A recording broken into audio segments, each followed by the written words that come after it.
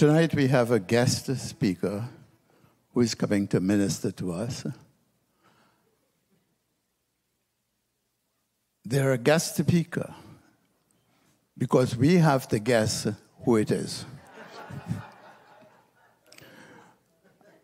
and since you can't guess, I want to introduce our dear sister Charlotte, who's going to come for the very first time.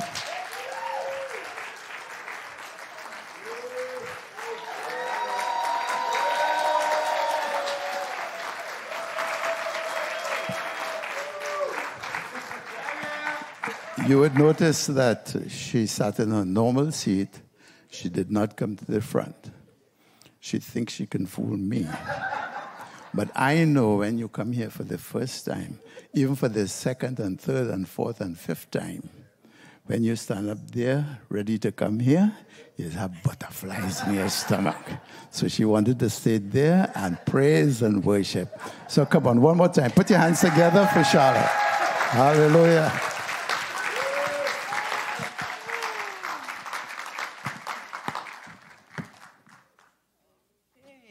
Good night, Holiness Revival.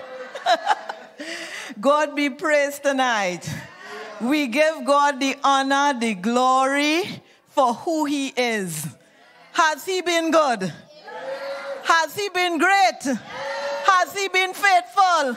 Amen. So, for that, that alone, let's give Him some glory. Father, we honor you tonight. We praise you and we magnify your name. All right. Heavenly Father, tonight, oh God, we thank you, oh God, for everything that you are. And even, oh God, as we are about to sit at your feet to learn of you, Father, Father, I pray, oh God, that you will open our hearts. Open our hearts, oh God, to receive who you are, Lord. Open our hearts, oh God, to know who you are, to know that you are the God who, are, who is in absolute control and there is nothing to worry about because you have got us. And so, Heavenly Father, tonight, Lord, we pray against every distraction everything, oh God, that will, that will cause our mind to stray. Father, I pray, oh God, Lord, that our minds, oh God, would be focused on you, that we will be able, oh God, to receive your word, oh God, and that that word, oh God, would bring transformation to us. And for this, we give you the honor, the glory, and the praise. Hallelujah. so tonight we are going to be in Psalms 42.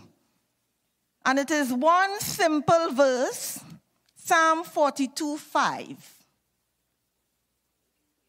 Psalm 42 5. And it starts with a question. What is the question? Only ain't find it yet. the question is, why art thou cast down, O my soul? Why art thou disquieted within me? The question is, why? Why? Why, when we know God is faithful? Why, when we know God is all powerful? Why, when we know all these things? Why is our soul cast down? Why is there a disquieting in us? Because of life, because of the situations, we will call them what we, what, um, as the young people say. I can't believe I'm saying as the young people say, I reach. the situation. So we have many reasons why our souls can be disquieted and why it could be downcast. Some of them we could find in the Bible. We could find people with similar things in the Bible. We think of Joseph, betrayal. It don't belong to be by your brothers, could be by a loved one. That kind of betrayal does wound to the soul. And even though we know God, it takes a while. What about Naomi? Great loss. One after the other.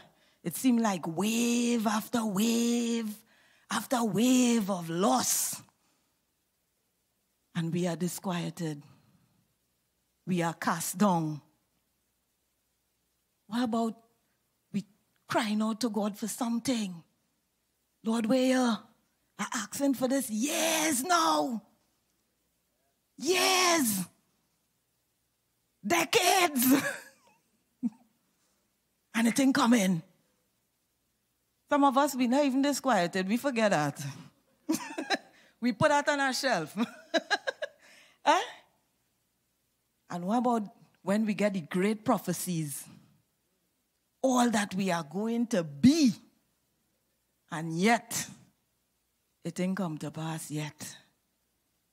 We had all these great words spoken over us, and they have not come to pass.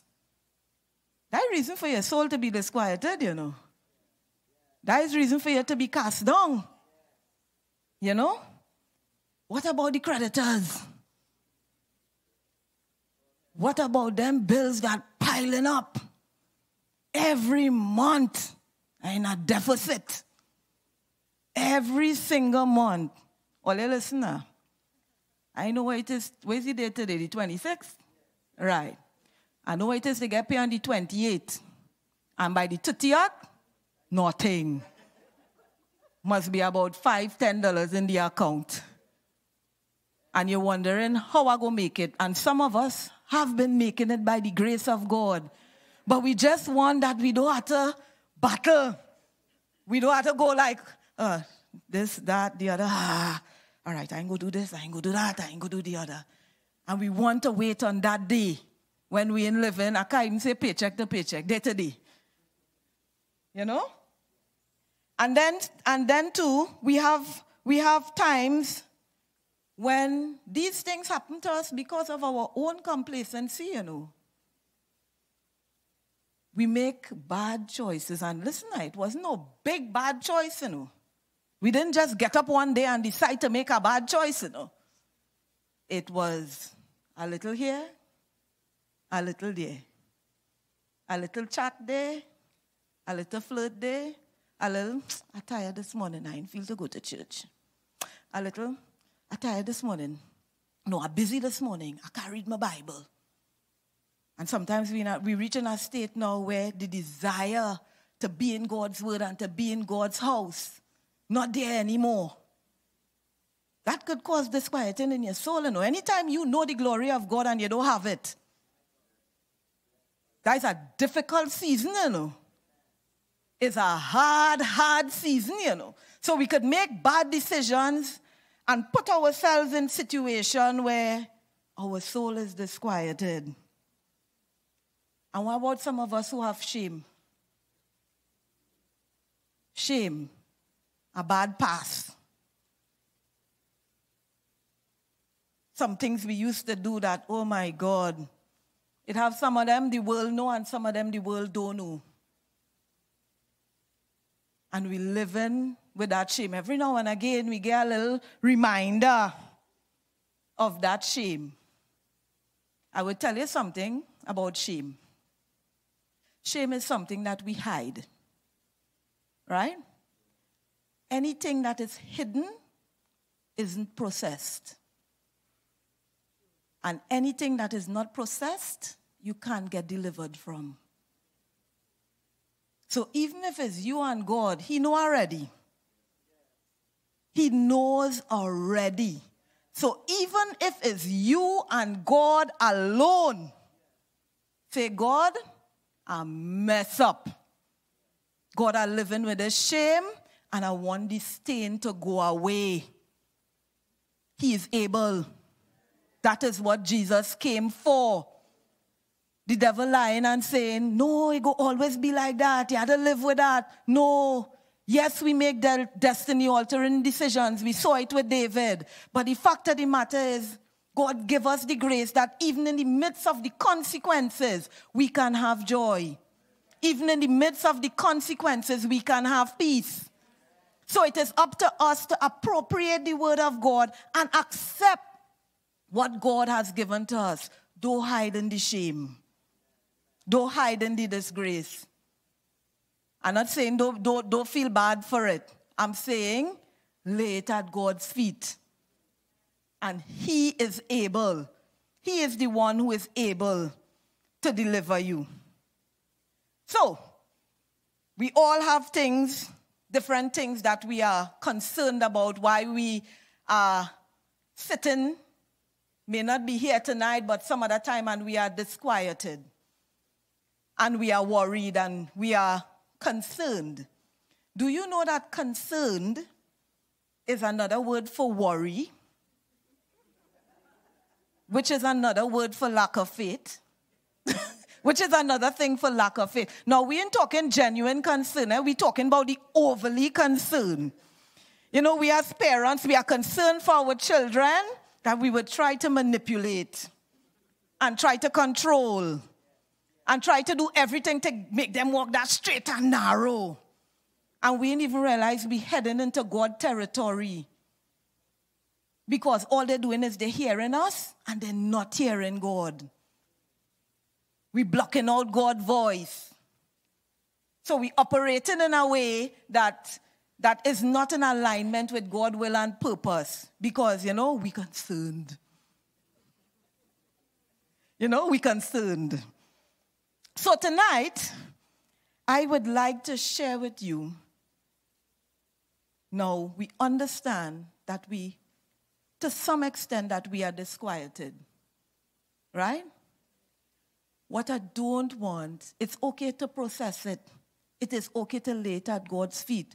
What we shouldn't do is be overwhelmed by it. Where, where as soon as we get up in the morning, I the first thing on we mind as you hit your head, oh my God, I have to go and take on them on work today. Or maybe you turn so. I don't know. you understand? So we have all these things, and you know what? At some point in time, you know, we figure it normal. We figure that all these things that we are going through, it, it, it, it is acceptable. And you know what is the sad thing about it?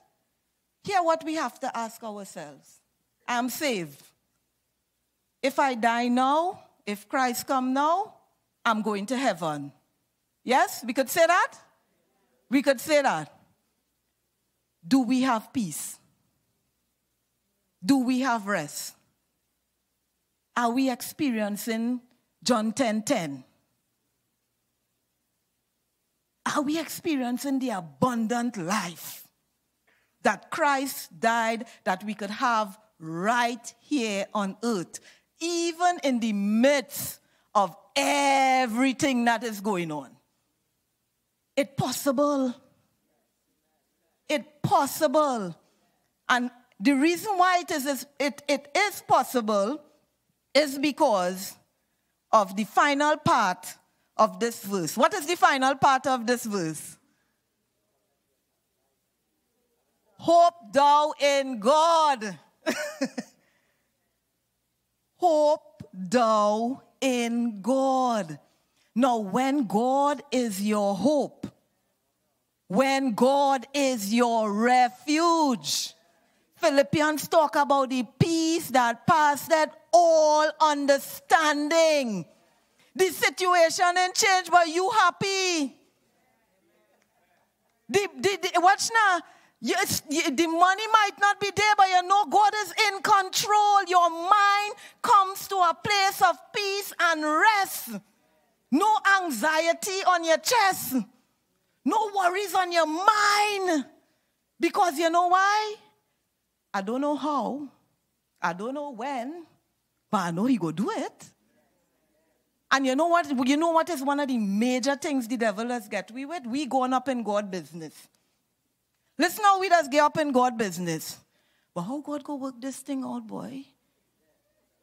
You're adding one and one. You ain't seeing two. You're looking so, but it ain't adding up. So you now get up from praying, and then the devil put in your mind all the ways that God can work it out. So you're back to where you was before. So listen, I it have this thing that I've learned. I, I, I learned to put a stop sign in my mind.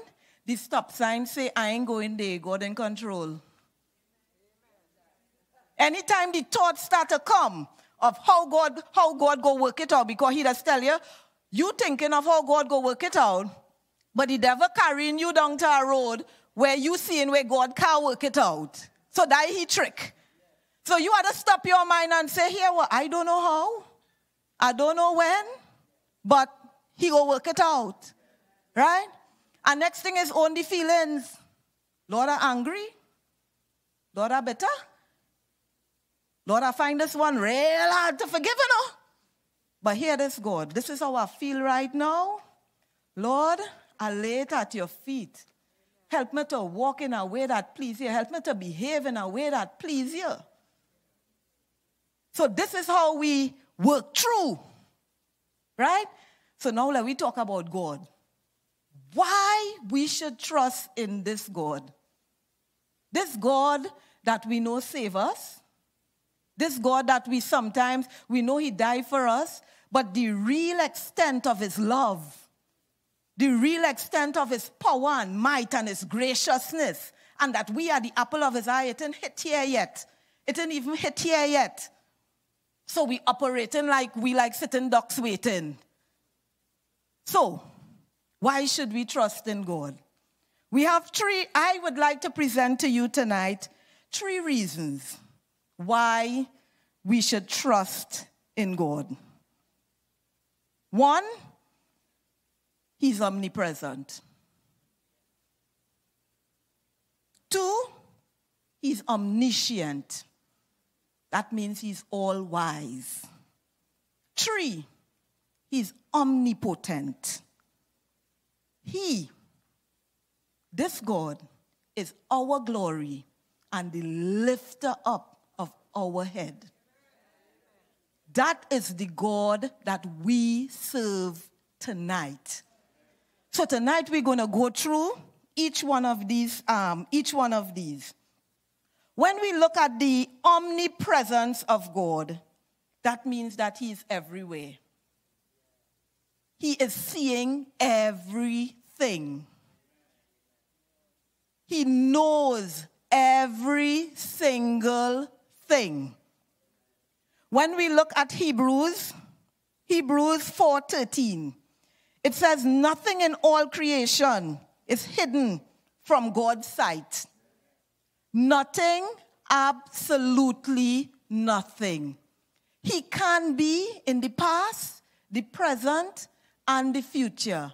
Now, what I have to do with my problems? You must be wondering. What I have to do with my problems?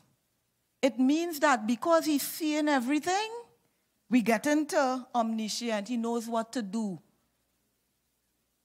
He is everywhere. There was a story of, I think of it was Elijah or Elijah, one of them, right? And everything they talk in secret, Elijah knew. All the plans of the enemy. Because God was there, he gave the information to Elijah. And so they sought his life. So you have an upper hand when you have somebody who have all seeing eyes.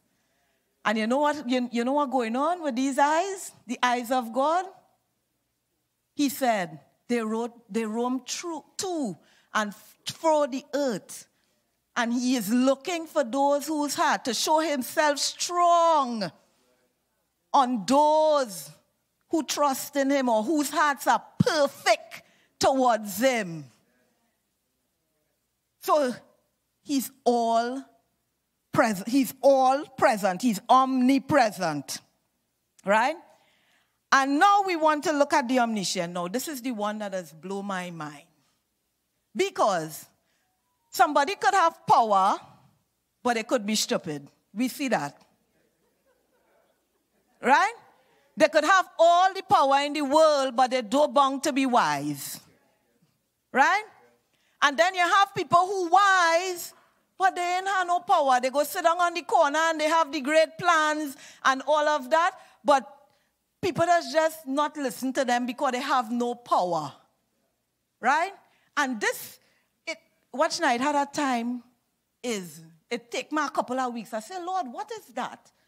What is that where your power, your power meet your wisdom? What, what, what, what, what, what um, omnipresent, I'm sorry, omniscience and omnipotent. What, when the two of them get together, sovereignty came up to mind. I say, yes, we have sovereign people, but then they don't want to have, you know, much power. And then, then the word come to mind, the providence of God. It's where omnipotent meet omniscient, and he works all things. He takes all things and he works them together for good. Please don't stop there. To them that love the Lord. we, you know how we like to quote. so, when this when we are talking about the omniscience of God, we are saying that He's all wise. Do you know what that means for your situation? He have the solution. He have the solution. You sleepless at night and God had the solution. You thinking of all the different ways how it could work and God had the solution before the beginning of time. You trying to work out this thing and he able? Isn't that, that didn't blow all your mind? huh? Eh? He said, and he said of Jeremiah, before I form you, and you had to say that before he formed Shala, before he formed me, he knew you and called you. You are not a mistake. You are not a mistake. You are not a oops. God designed you with purpose. And don't let nobody tell you different. You have a purpose in this earth that nobody else could do. You were designed for that purpose. Now, if you ain't do it, you go find somebody else. I, I'm being real honest with you, right? But He created you to do something. So don't let nobody undervalue you. Right? Don't let anybody undervalue you. So when we are looking at the omniscience of God, this one is one of my favorites. Or the depths, both in the wisdom and the knowledge of God. How unsearchable are his judgment and his ways past finding out. You know, we, we have this thing. It are times when we want to be merciful and we, we so want to be merciful that we erring, that we're not doing judgment. And it has so sometimes when we want to be so judgmental that we're not being merciful. Jesus Christ have the perfect balance. It is called the cross. He didn't cut any corners. Mercy and justice met at the cross. It was the payment, and it is where it is where he displayed his love. So I just showing you a little bit of the, the omniscience of God, how he could take all things together and work them. There is no time God God saying, Oh God, what go do, boy? This one is a real hard one, boy. God don't do that. He had the answer from since the beginning of time. It's no time when he's saying, okay, well, two amateur and quarreling. What side I go take, boy? If I take that side, Mm-mm. he know exactly what to do. He know exactly how to find resolution in the midst of that situation. So if we have two people who love God and saying, God, tell me what to do and I go do it, you will see the solutions we will get. So it's very, very important that we trust in the omniscience of God. When God tell you do something, do it. Because you know why? He, he watch now. Out of the million or billion probability, he know the best one. That's how we have to look at it, you know. He is omniscient. There is nothing, absolutely nothing that he does not, that he does not know. And then this is this, uh, it, it, have a couple in Isaiah. Isaiah have the um, thing on this is, have thou not heard? No, hast thou not known? Hast thou not heard that the everlasting God, the creator of the, of the ends of the earth, fainteth not, neither is weary. There is no searching of his understanding. That um, Isaiah 40, 30 and, um, 13 and 14 says, Who had direct the Spirit of the Lord? Or who, being his counselor, taught him? You know, sometimes we just try to be God counselor telling him what to do. The question is, how dare you? Huh? We know what best. Huh? So who taught him? Whom, with whom took he counsel? Or to whom instructed him? Who taught him in the path of judgment? Who taught him in the path of knowledge? Who showed him the way of understanding? Who could claim that? He is the omniscient God. There is none that can compare to him. Amen? And now we are going to look at his, at his omnipotence. That means he is all powerful. Nothing and no one could match his power. Nothing and no one can match his power. He spoke this world into being. Genesis 1 1. In the beginning, who? Who? Created the heavens and the earth. Psalm 19, only when only our time. Is chunke is the word? Chunke? You see Psalm 19? Watch now, Psalm 19 does talk about the beauty of the earth, the engineering of the earth.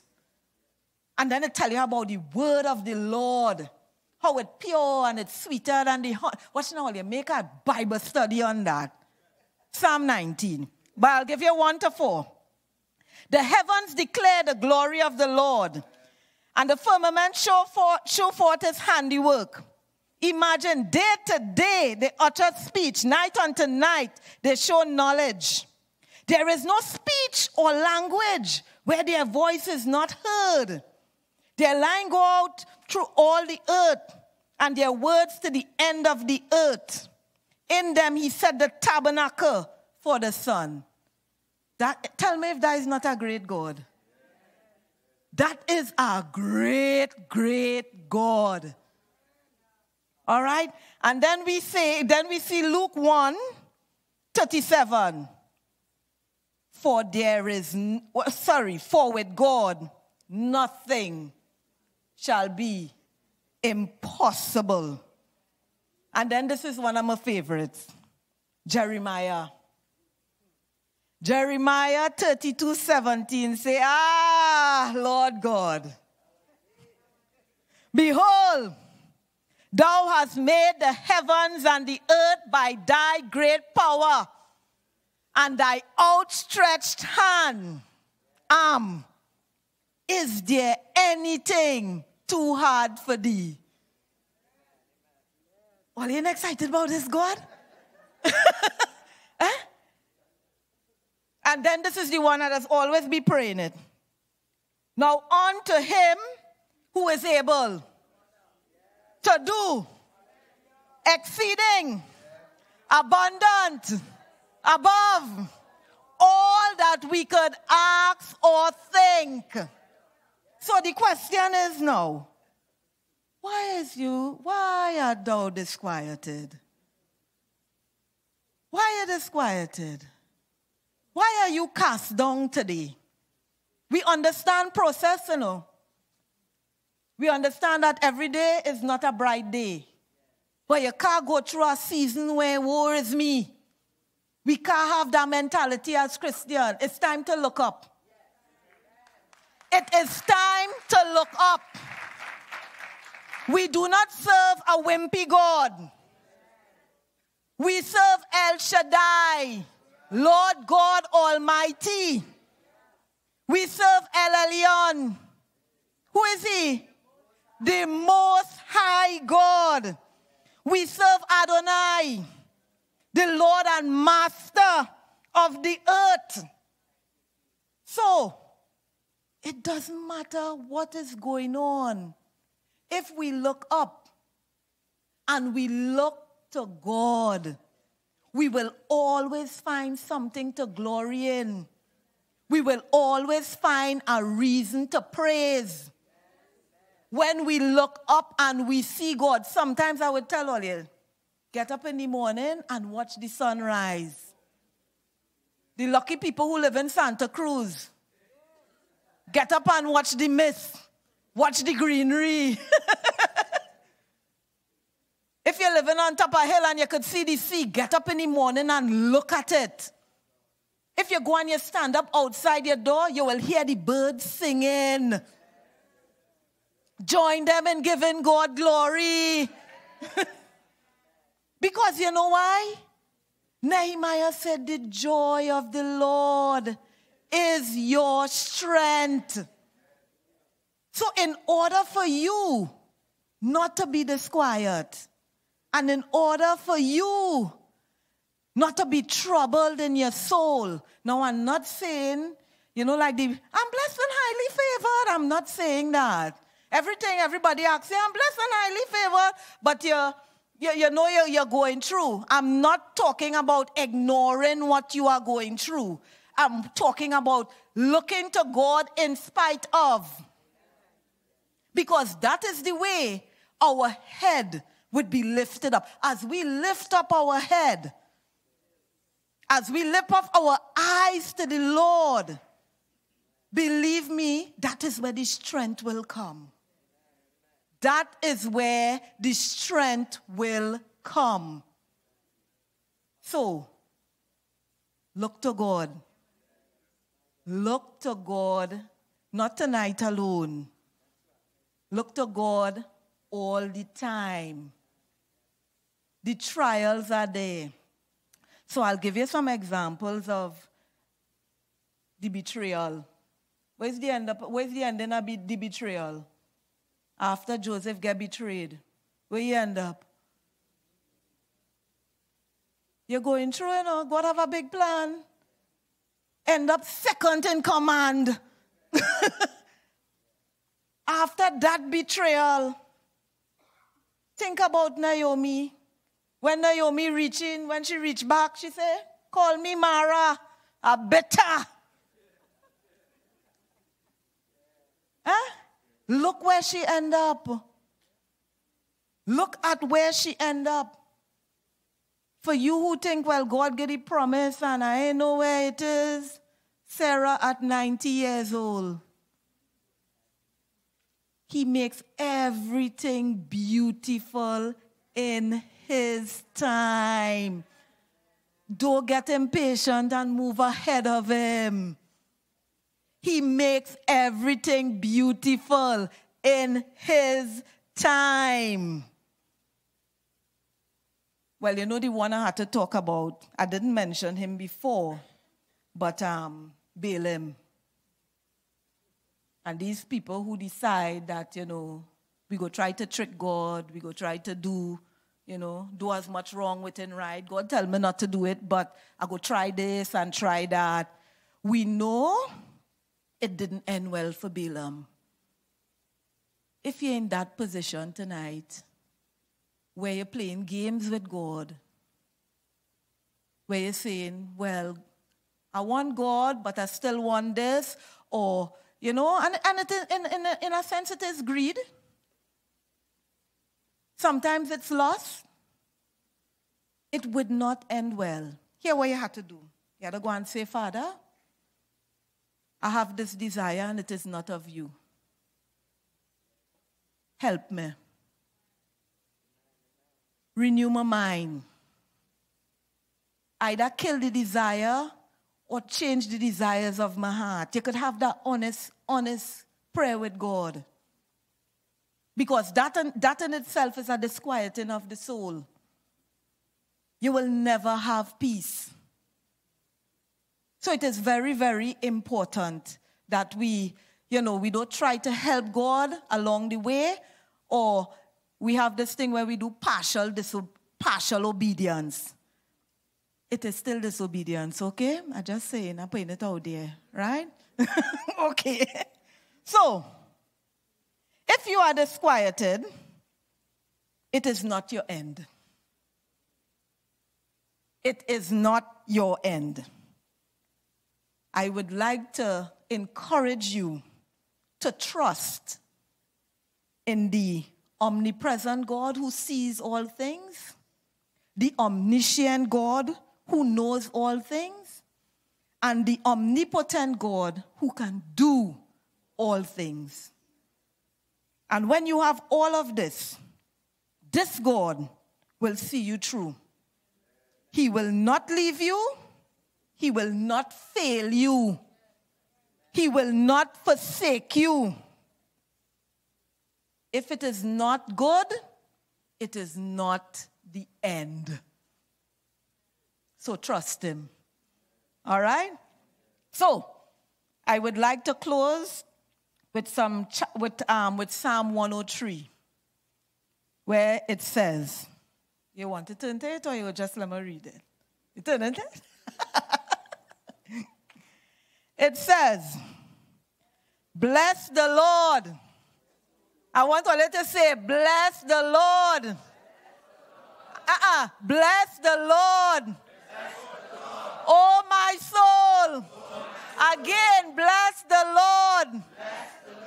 Oh, my soul. One more time, bless the Lord. Oh, my soul. And all that is within me. Bless his holy name. Hallelujah.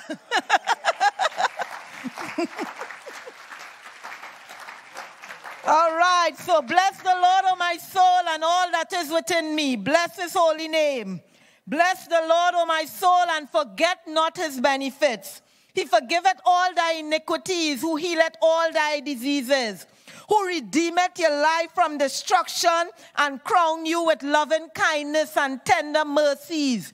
Listen now, he satisfy your mouth with good things so that your youth is renewed as eagles, only over 60s. the Lord executed righteousness and judgment on the oppressed. He has you. Okay?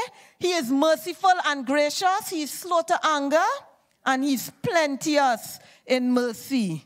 Right? So, bless the Lord, oh my soul.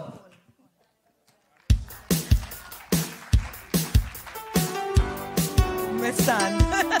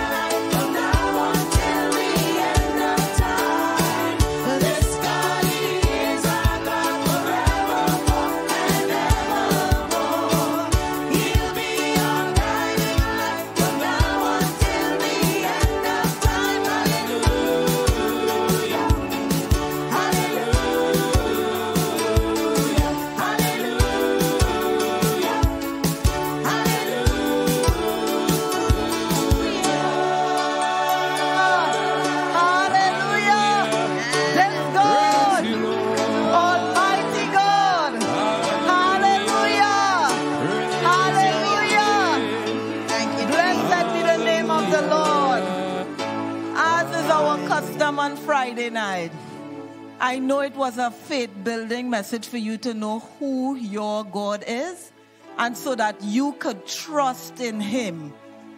Sometimes we still need some undergirding, and that is okay too.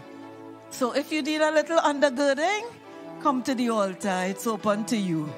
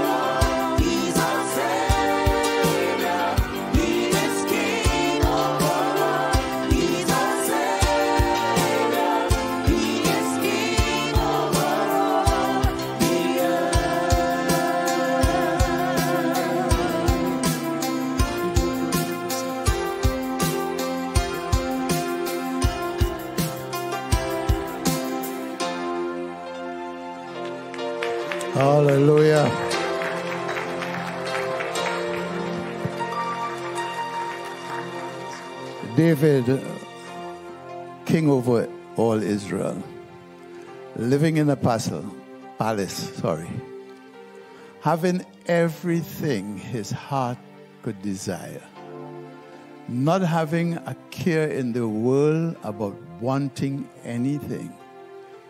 Yet, he penned these words Why are you so cast down, O my soul? It could happen to anybody. It's not about what you have. There are times when your soul will be cast down. But we have got a hope. And that's where we have got to put our trust. Put your trust in God. Were you blessed tonight with the word? Hallelujah. Praise the Lord.